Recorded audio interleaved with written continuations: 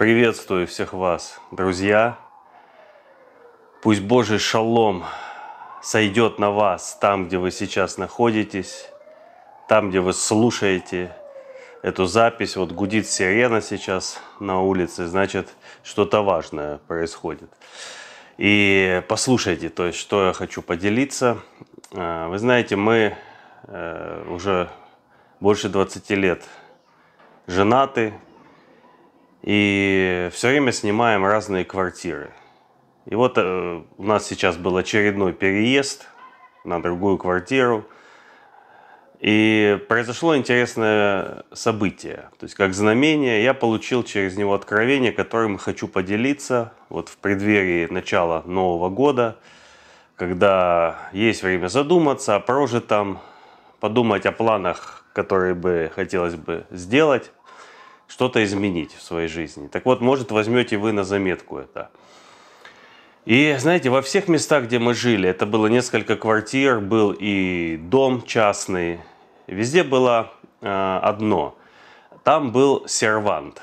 То есть был сервант или стенка, вы понимаете, это прозрачные вот эти все дверцы. Э, и вот мы заезжали, и, как правило, он стоял. И в советское время вот такие стенки, серванты, они считались признаком, ну, как достатка, состоятельности. И, конечно, это было в тему, это было актуально, это было модно, это было красиво. Там люди выставляли хрусталь свой на показ, какую-то посуду, что-то такое ценное там лежало. И когда заходили в гости, люди смотрели и понимали, да, у людей все в порядке в жизни. И, конечно, каждая семья старалась иметь э, в своей квартире, в своем доме такой вот сервант с посудой, с какими-то статуэтками, вот с чем-то таким вот э, красивым. И когда мы заезжали, естественно, во всех местах был сервант. Или была такая мебельная стенка с сервантом.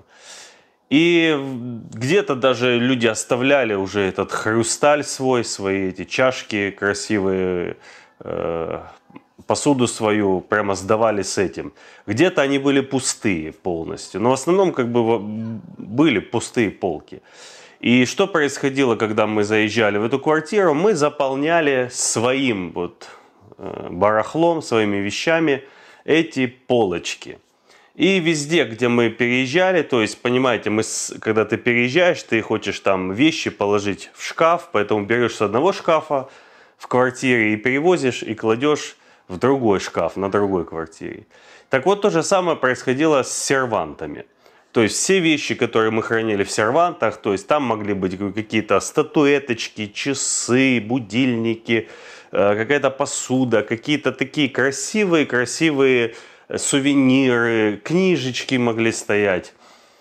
И все это перекочевывало с одного серванта в другой, то есть на новом месте, где мы э, находились. Так вот, сейчас э, у нас был этот переезд.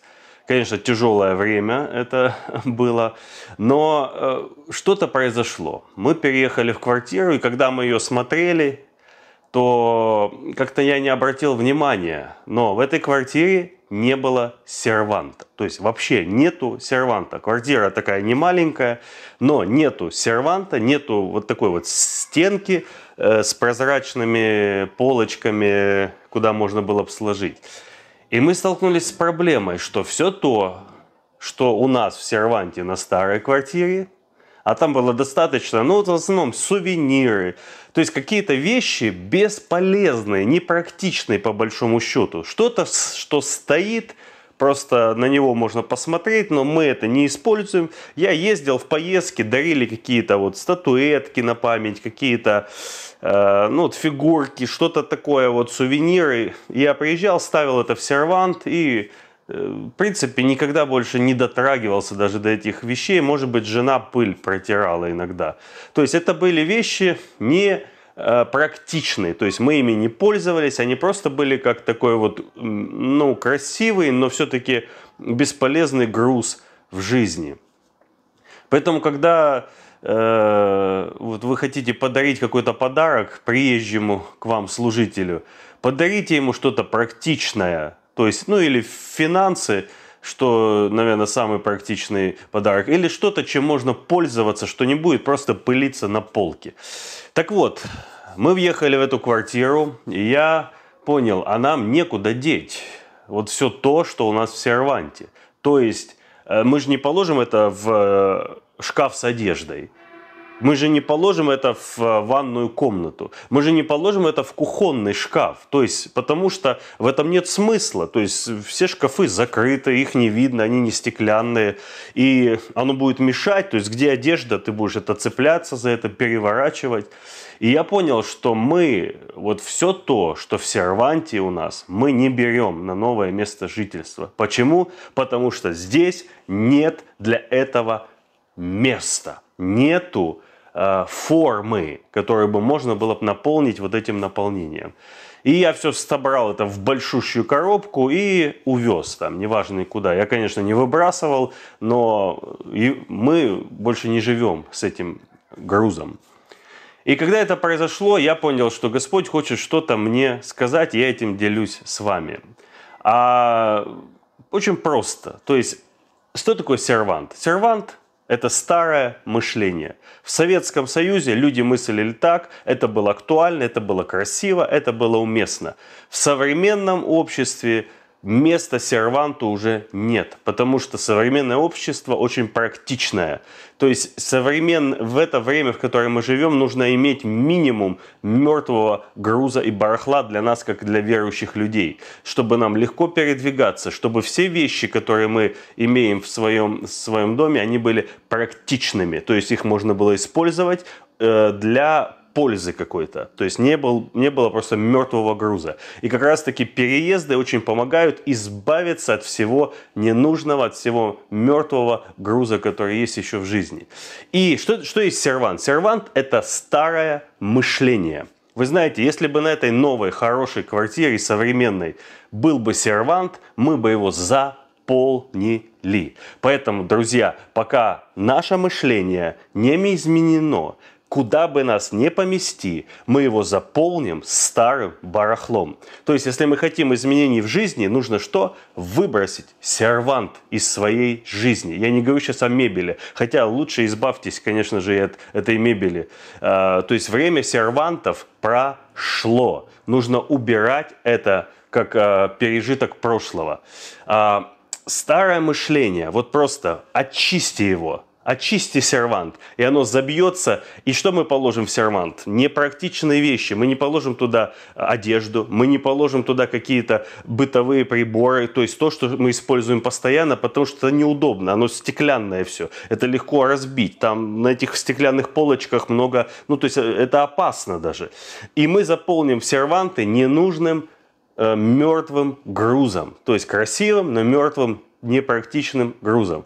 Поэтому, чтобы изменить свою жизнь, изменить наполнение своей жизни, нужно изменить мышление, нужно убрать из своей жизни старые стереотипы мышления. И когда мы въехали в эту квартиру, мы поняли, что здесь люди, которые ее уже дизайнеры проектировали и делали, у них уже было другое мышление. И поэтому здесь не нашлось места сервантам и мебельным этим стенкам с прозрачными э, дверцами и полочками. И я возрадовал, да, вначале я, огорчился, я думал, ну куда же мне теперь это все деть, но сейчас я понимаю, мы это переживем один раз, и наша жизнь полегчает еще на несколько десятков килограмм ненужного груза. Точно так же в духовном измерении. Если вы хотите практичных то есть откровения от Бога, которые будут работать в вашей жизни постоянно. Вы знаете, вот э, я собираю часы. Вы могли видеть, что у меня есть разные часы. И есть разные вот увлечения у людей. Кто-то собирает марки, кто-то собирает а, какие-то пробки, кто-то собирает банки из-под Кока-Колы. То есть, ну вот есть. И что мне нравится в часах, что это практичная практичное э, хобби. То есть я могу встать и одеть часы и использовать, то, что, ну, использовать их по практическому назначению. То есть это не просто красивый, бесполезный, мертвый груз. Э, ничего не имею против марок, кто собирает, собирайте. Но марка это, э, ну что в ней? Вот ты посмотрел на нее и закрыл. Это хотя бы приносит какую-то мне ежедневную, практическую пользу. Поэтому я могу всегда кого-то благословить часами, это будет в тему, потому что когда ты придешь и тебе кто-то подарит марки, ну такое себе, да, такой себе подарок. А, вот это откровение, делюсь, я получил, я возрадовался, наша жизнь обновилась, поэтому э, вместилище, вместилище обязательно – наполнится. И все зависит от того, каково вместилище. Если мы, если вы меняете свое мышление, то оно будет наполняться соответствующим наполнением. Поэтому делайте эти шаги веры и практические, и духовные. Избавляйтесь от старых стереотипов, от старых пережитков. Пусть откровения в вашей жизни собираются не мертвые откровения какие-то, которые вообще не работают, и они не, не в вашей жизни повседневно не приносит никакой пользы. Пусть ваша жизнь наполняется откровениями, которыми вы будете пользоваться каждый день, и они будут доставлять вам практическую пользу и радость от использования. Но я надеюсь, что я смог донести это понимание. То есть убирайте все лишнее. Я не знаю, вот этот год э, столько было посланий именно в эту тему. Избавляйтесь от старья, избавляйтесь от хлама. Но это как завершающее послание, что если мы очистим сервант, но сервант останется, он по-любому, по чуть-чуть, постепенно заполнится опять же, ненужным хламом, мертвым грузом и барахлом разным. Поэтому заполняй, э, убирайте вот эту форму мышления, образ мышления неправильный. Иначе все эти чистки, они, ну, они на время, вы опять забьете эти ящики тем же самым, просто э, другим барахлом. Вот такое вот послание вам в следующий год. Всех люблю вас, стараюсь любить. Благодарю Бога за всех, кто писал все теплые, поддерживающие, ободряющие слова в комментариях. Это действительно нужно и важно, это поддерживает, потому что мы люди не только такие, мы духи, да эти духи, мне все равно. Есть и душа. Душа тоже иногда, ну, ей тяжело. И слава Богу за всех, кто писал свое несогласие, тоже это оттачивает где-то, заставляет задуматься. Но хамов удел в э, черном списке. Никуда не денутся эти хамы. Хамов тоже хватает. И они отправляются в черный список. В конце скажу такую, ну просто, может быть, вам на заметку. Э, как-то мне пишет один человек, передайте Деборе, чтобы она меня разблокировала. А то она, да, да, да, это ты передай это, это ей. я читаю это, этот комментарий, и я думаю, понял, вообще не знаю, кто это за человек, но понял, если Дебора заблокировала, и он с такой вот этой, ты там, давай, передай, я, я про себя подумал, спасибо, что обозначились, и заблокировал его тоже. Поэтому нечего тратить время на вот таких вот персонажей. Всем вам Божьих благ, мудрости, проницательности, э, здравого смысла, благости, милости и истины Его. Пусть все это умножается в вашей жизни. Увидимся уже в следующем году. Верю, что если воля Божья и живы будем, будем продолжать делиться теми вещами, что Господь дает. И я очень рад слышать, что то, что Бог дает нам здесь, в Крыму, служит Его телу по всему лицу земли. Аминь.